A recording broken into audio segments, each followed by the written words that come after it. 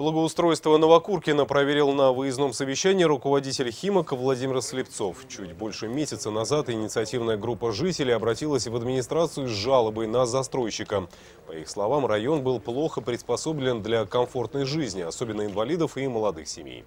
Не хватало детских площадок, пандусов и спусков. Проблему стали решать сообща с властью. На преображение этих дворов дали 4 недели. Результаты, что называется, налицо.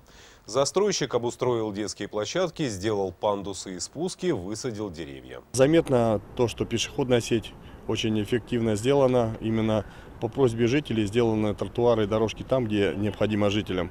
Я думаю, что в комплексе данный микрорайон оживет а, должным образом и э, усилия жителей, усилия администрации, воздействие все-таки на строительную компанию, они дают большой плюс. До конца этого года будут установлены все объекты на детских площадках, а в течение месяца завершится полное благоустройство двора между домами 68 и 70 по улице Молодежная. Установлены новые мафы, сделаны площадки для детей новые, роллер-дром небольшой, где детишки могут кататься, вечером можно прийти посмотреть, там полностью все забито, все на самокатах, на роликах с удовольствием катаются.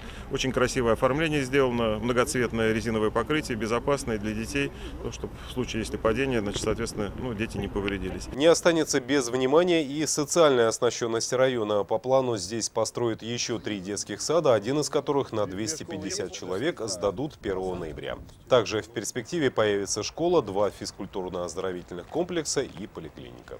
То, что мы наметили, то, что сегодня жителям а, было объявлено и сказано, мы в любом случае будем добиваться от, от строителей для того, чтобы данный квартал был, в принципе, показательным, был примерным и нашим жителям жилось здесь комфортно. В следующем году начнется комплексное благоустройство двора между домами 74 и 76 по улице Молодежная.